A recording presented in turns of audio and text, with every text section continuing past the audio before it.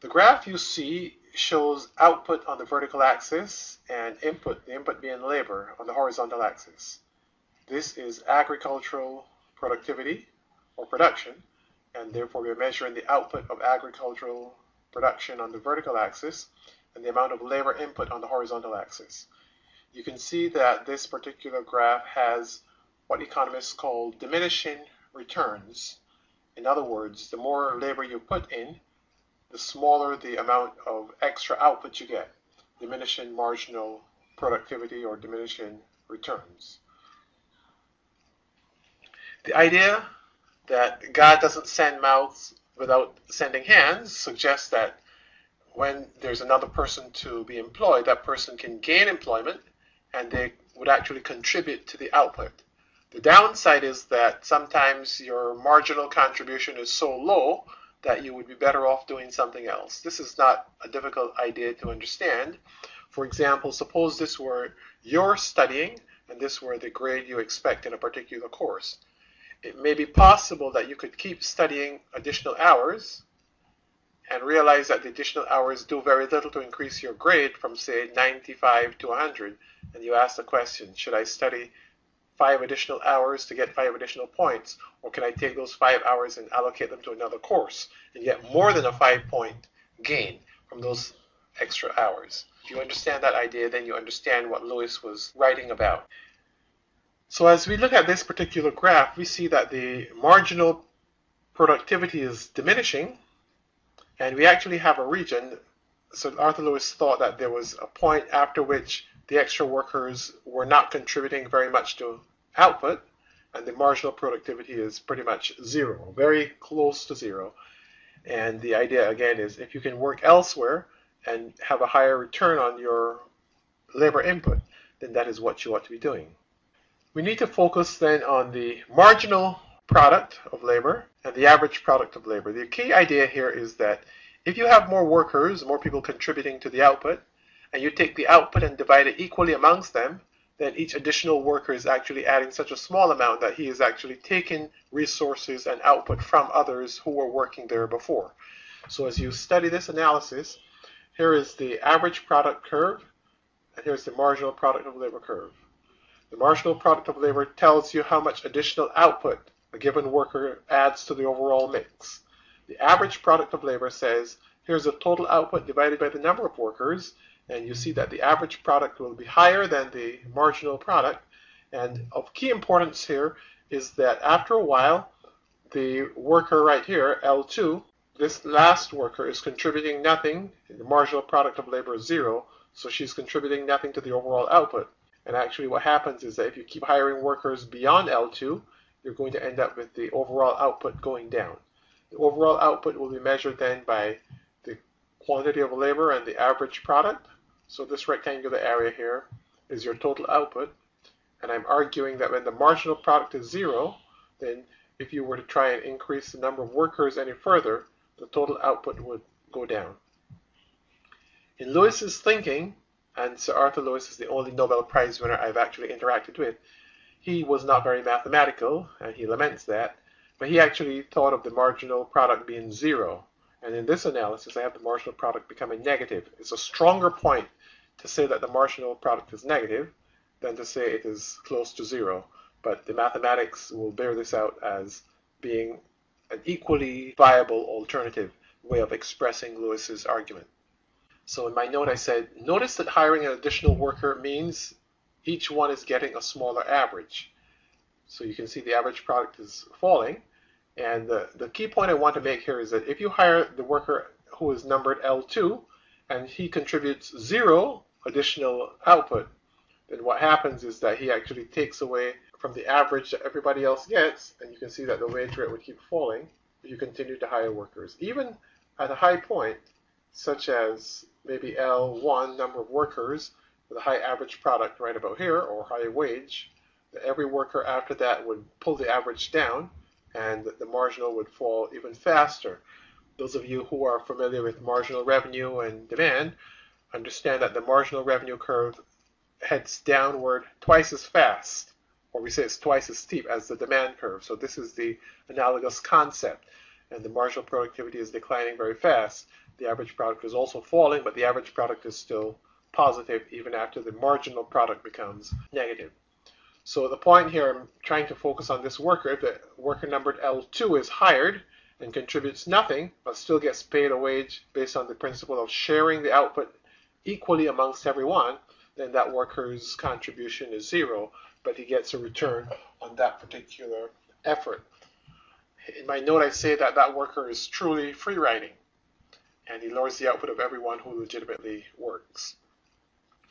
Let me move to the next page. And what I'm going to do is quickly run through a numerical example.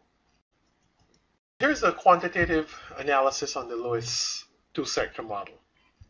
Our country has two sectors and 20 workers. So here's the production function in the first sector. I call it the agricultural sector. And here's the production function in the manufacturing sector. They're both going to be increasing at a decreasing rate. So the output will keep increasing, but the marginal product is decreasing. And you would recognize because it's squared with a minus in front of the squared term that you would actually have a diminishing marginal product. The mathematics of that formula tell you the marginal product is diminishing. If you have 20 workers, the question for you is to find out the largest amount of output, and we're multiplying the quantities by 1 to get the overall GDP. So how much is the maximum GDP the country can have? And what you can do is start by allocating all 20 workers to one sector, 0 to the other sector, and then try to move them 19, 1, 18, 2, etc. until you find the highest quantity of output. I actually use a spreadsheet to solve this particular problem. And here are the data based on the spreadsheet. Here's the production function, the quantity of labor and the quantity of output from zero workers up to 20 workers. I hope you can see that. And this is what the production function looks like in the agricultural sector. So 20 workers would contribute 160 units of output. And in the manufacturing sector again, 20 workers would contribute or produce 160 units of output. Because we have 20 workers, we have to ask the question, what is the maximum quantity of output or revenue or GDP, all being the same thing because the prices are one and just adding the value of the output in the two sectors. So if I have all 20 workers in agriculture, the GDP would be 160. If all 20 workers were in manufacturing, the GDP would be 160. But if I were to assign 19 workers to agriculture and the other worker to manufacturing, I have 159.6 plus 9.9, which is 169.5. So you see I can increase the overall output by allocating the workers between the two sectors. That should be pretty obvious to you. What I've done in this third analysis is I've numbered the workers so that the sum is always going to be 20. And I tell you the output and I multiply by 1 to get the GDP. So what I just said was when the workers are all assigned to the manufacturing sector, the GDP is 160. When 19 workers are assigned to the manufacturing sector and 1 to the agricultural sector, we get 15.6 plus 153.9, which is a total of 169.5 as our GDP. And by allocating the workers between these two sectors, you can run down the table here and you're looking for the highest number when you sum the GDP from the two sectors. And it looks as though if we allocate the workers 10 to agriculture and 10 to manufacturing, we get 210 as our GDP. And that's higher than any other allocation. Notice the 911 and 119 will both be lower, so that means that we have found the maximum level of GDP when we allocate the workers 10 and 10.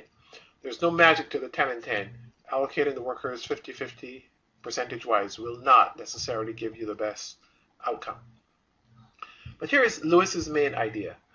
Lewis argued that the rural sector was allocating the output equally amongst its workers, so it was using the principle of average product to allocate the output, whereas the urban manufacturing sector or the new capitalist sector that was developing in the urban area was using the marginal product principle.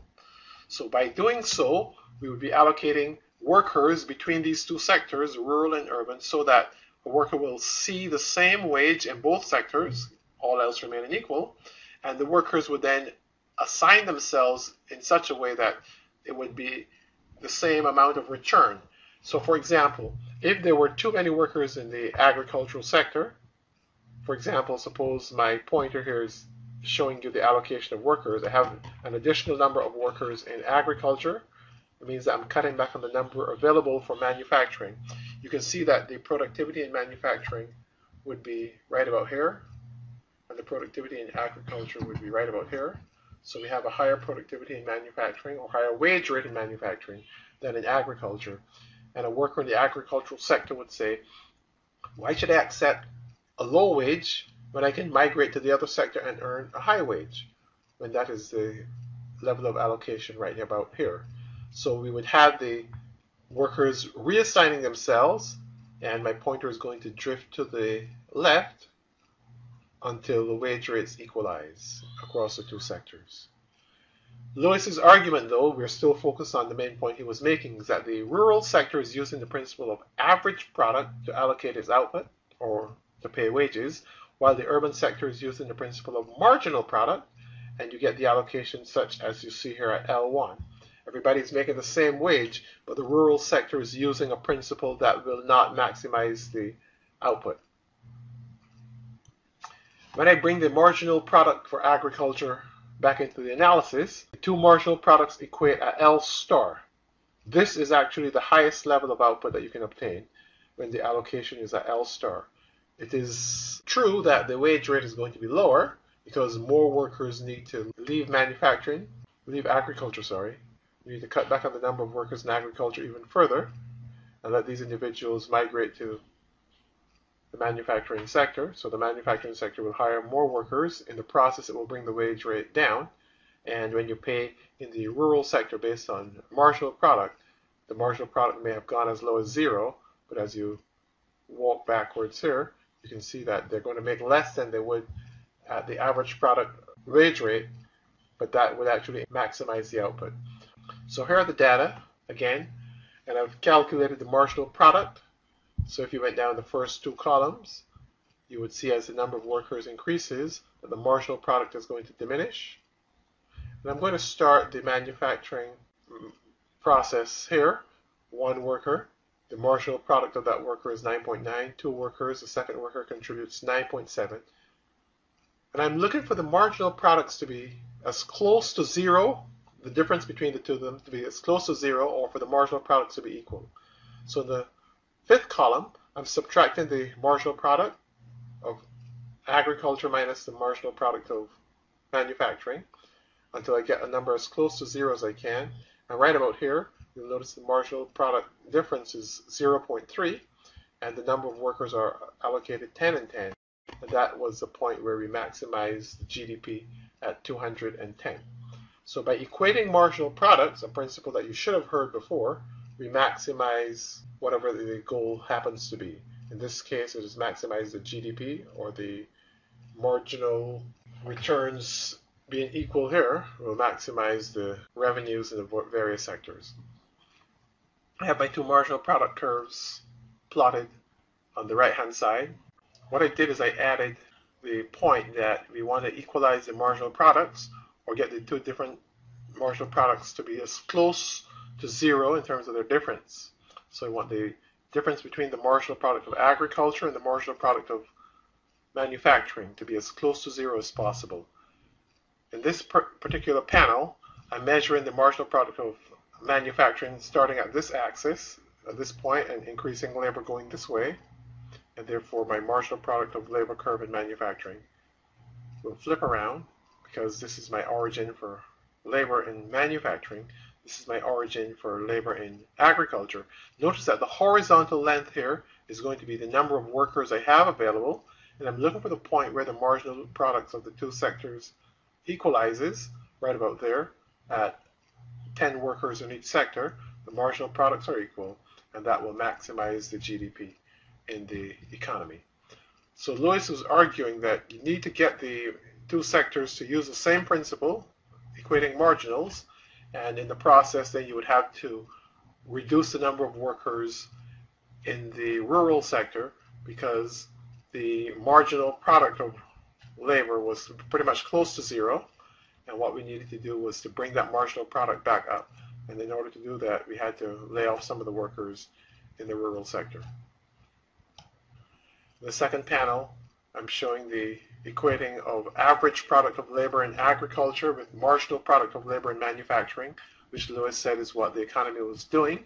It was not maximizing the GDP, and what the economy needed to do was to equate the marginal product of labor in agriculture with marginal product of labor in manufacturing. So instead of operating at this point right here, where the marginal product of labor is actually very low, we needed to move to the point where the two marginal products are e equal, and mathematically the equation of the marginal products will maximize the GDP. So the optimal allocation would be to have fewer workers in agriculture and therefore more workers in manufacturing. Sometimes I call that go to the city young man or young person so that you can actually do better for yourself. There's a lot to be analyzed behind what I'm saying because if the rural sector is paying according to average product, the downside of this principle is that you effectively are eating your seed corn. You're distributing all of the output and therefore there's no likelihood of a reinvestment in the next year. The capitalist principle of equating marginals would then have a situation where we can actually the, hold back some of the profits, so to speak, and use that to motivate the production in the next particular cycle. So if average product is being used, allocates all of the output amongst the workers. And if no one has the incentive to reinvest, because they figure my investment will benefit others rather than benefit myself solely, then you end up with a situation where the incentives are skewed and we do not have continuous increasing productivity in this particular case. So equating marginals means that there's a capitalist manager who is watching the marginal product and not paying you more than your marginal productivity. In the process, we would have some profits left over, and those profits being reinvested would become the engine of economic growth. The sector that is making the profits in Lewis's scenario, the urban sector, the urban manufacturing sector was going to be profitable. That was going to reinvest its profits and grow. But if the agricultural sector could shed some of its workers, then the manufacturing sector would have more workers to work with, it is unfortunate that we're talking about a scenario where the wage rate in the urban sector will decline a little further, but these individuals who are being overpaid to work in agriculture can now go find jobs in manufacturing. And uh, that would actually increase the profitability of the industry, the manufacturing industry, and create even more prospects for jobs, assuming that the profits are reinvested in the operation.